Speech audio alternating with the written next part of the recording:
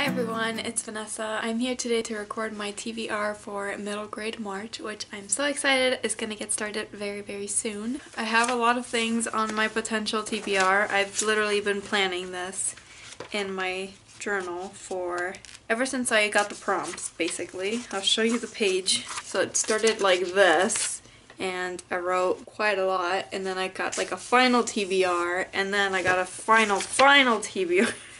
so there's a lot of planning going on here, and it's so fun to plan like your months around reading and how you want your reading to go that month. So we're going to focus on middle grade in March and that is very exciting.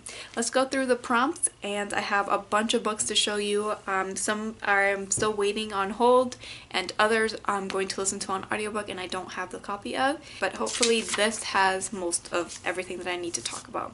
I'm sure as the month goes plans will change a little bit and I'll maybe I'll read some or take some away but I feel like this is a list of books that I'm actually going to get to in March just because a lot of them are available on audiobook and I think that's really gonna help me this month. The first thing is the group read, which I did pick up. It is The Book of Boy by Catherine Gilbert Murdoch. Last year's group book I also read with the group, um, that was Sweep, and this uh, year it's The Book of Boy. I didn't uh, love Sweep as much as everyone else. I really liked it at the beginning. I think part of that had to do with the fact that it is it was a little bit more fantastical than I usually read. I don't really read a lot of fantasy middle grade. I love just realistic contemporary middle grade the most. This one I think is a mix of those two. It gives me very similar vibes to Sweep. It is a book that lots of people loved.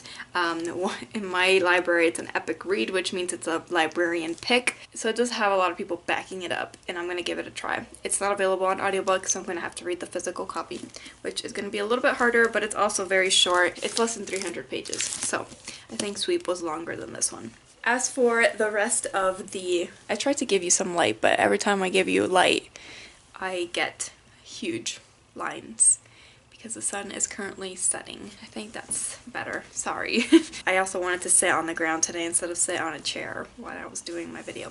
Let's keep going. My illustrated book. The first challenge is to read a book with illustrations in it.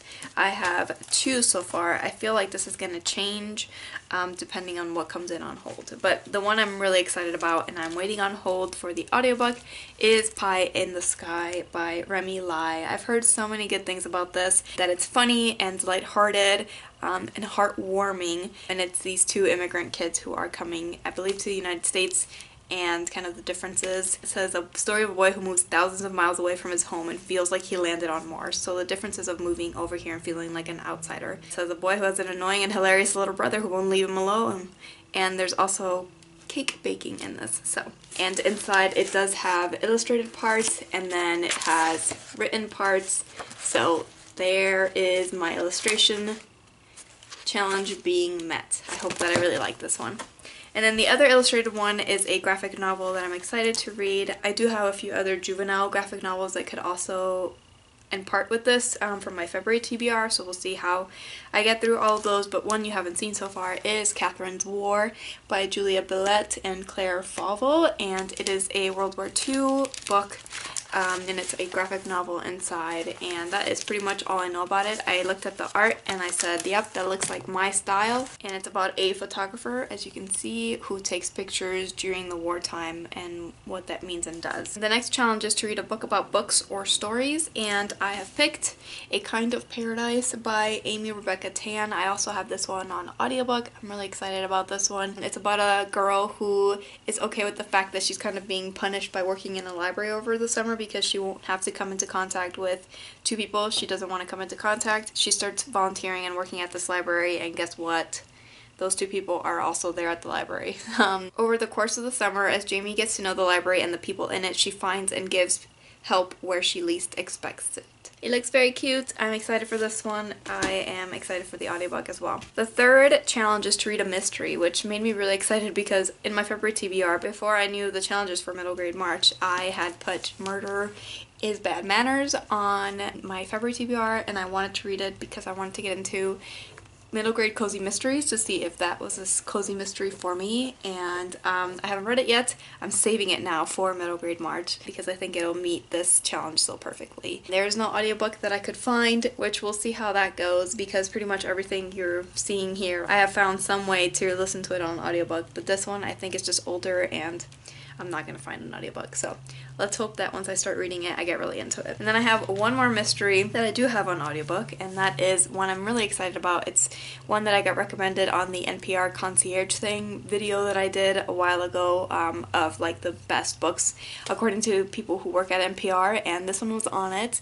It is from the perspective of someone who is uh, Native American, and it's also kind of a mystery of learning about her background. It says, one summer day she and her friends discover a box hidden in the attic full of old photos of a woman who looks just like her. It says Eddie has a flurry of new questions about this woman who shares her name and it's trying basically to figure out who this person is and what secrets have been going on and people have been hiding information from her. The next challenge is to read a book set in a different country and I have picked The Night Diary by Veera Hiranandani and I have this also out on audiobook. I'm really excited for this. I've heard really good things. This is kind of a book that was hyped a couple years ago, maybe last year. It is set uh, between Pakistan and India and there you see India. It's 1947 and India, newly freed from British rule, is being divided into two countries, Pakistan and India. She has a Muslim mom and a Hindu dad and it's not really safe for them to be in Pakistan. It's told through letters and that makes me excited. I really like novels like that. So woohoo! That's the Night Diary. And the last um, challenge is to read a book to movie adaptation. I had kind of a hard time finding one that I actually wanted to read. There are like older books that maybe I do want to read at some point like Charlotte's Web and things like that but it didn't call to me right away. One thing that did call to me is the fact that this book has been optioned to be made into a film. It hasn't been made into a film yet, but I think it still counts. So it is The Thing About Jellyfish by Ali Benjamin.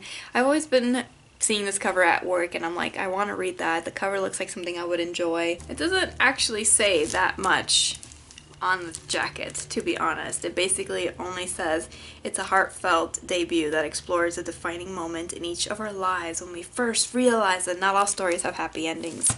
So, looks right up my alley. that is it for the challenges. So I'm excited to read all those books, but I do have more and I'm really excited for these as well. We'll see which of these that I get to. There's some that I'm more excited about than others. Like for example, I'm really excited about a brand new release by Kate Messner called Chirp and this one supposedly deals with harassment, Me Too topics for the middle grade audience so I'm really excited to read this one. That one I'm definitely going to get to in March I feel like. And another one I'm really excited about is one I've heard a lot of good things about on booktube from a variety of people that I watch and that is Dear Sweet Pea by Julie Murphy. I've never read anything by Julie Murphy. I feel like middle grade is a great place to start. I'm hoping that it's very sweet. It just looks sweet just from looking at the cover. So that's Dear Sweet Pea. And then these are the ones that are more um, Um, unsure about if I'm going to get to them, but we'll see. Partly because it, it, I had difficulties finding some of these on audiobook. All those other ones I pretty much found on audiobook. One of them is Some Places More Than Others, which I've had out from the library before, maybe a few months ago when it first came out. This one does not have an audiobook, period. So I will see if I get to this one, but it's about going to Harlem and seeing a different part of her family. It's just going to be a nice Renee Watson read, hopefully. It's shorter than a lot of the ones that I have, so I should get to it in March, but we'll see. Another one I just requested that my library purchase the audiobook for is No Fixed Address by Susin Nielsen and this is a book about someone who is experiencing homelessness, a child experiencing homelessness and what that's like for him. But I have heard that it is humorous story so it's not just all sad stuff. It is supposed to be a little funny as well so I'm excited to listen to this one hopefully if my library decides to buy the audiobook. Another one that I'm probably going to suggest that they buy the audiobook next week when I'm allowed to make another recommendation is Genesis Begins Again by Alicia D. Williams. This one just won the Coretta Scott King Award and it won a bunch of other awards during the Youth Media Awards um, at ALA Midwinter. So I'm excited for this one. I honestly don't know much about it. It's mostly the cover that's drawing me in and that it won all those awards. Hopefully they get the audiobook and this is another one that I get to read in March. There's a couple more that I don't have physical copies for. One of them is Stand Up Yumi Chung and this one is releasing I believe March 13th so it's during middle grade March and I'm really excited. I'm anticipating this one. I'm on hold for the audiobook and the physical copy so when it arrives it'll come to me right away. And that's another one that I'm looking forward to. It's about a stand-up comedian middle grade girl. It just sounds very lighthearted and, and sweet so I'm excited for that one. And then another one that I want to get to is Jason Reynolds and um, Dr. Ibram X. Kendi's book that they did together for like a young reader's version of Stamped from the Beginning. I think it's just called Stamped and I have that one on audiobook as well from Libro FM so hopefully I'll get to that one in March as well which is exciting. I think that is mostly all the things that I currently have that I'm thinking I'm going to read in March. Things will change. Maybe I'll vlog some of that and if I change my mind or pick something else up I'll let you know how that goes. But I hope you have a great middle grade March if you're participating. I hope that we all read some great middle grade books this month and I will see you in my next video. Bye bye.